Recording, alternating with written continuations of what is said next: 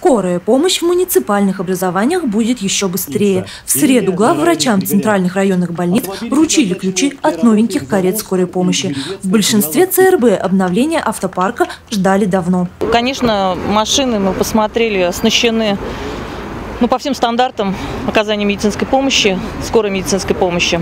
И это будет большим подспорьем в повышении доступности и качества оказания медицинской помощи, тем более сельскому населению. 11 автомобилей в регион переданы по федеральной программе. 7 марки ГАЗ вручили сегодня. Остальные УАЗики прибудут до конца года.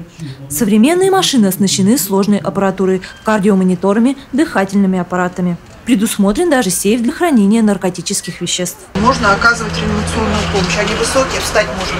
Специальные держалки, то есть для капельниц, штативы, светильник. Это практически операционный столик.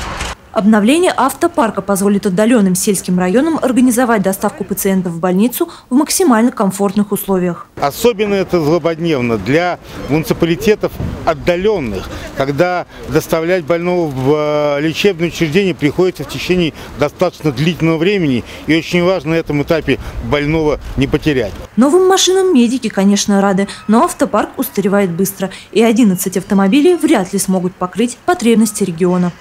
Мария Попова, Андрей Семиволков, РТВ Иванова.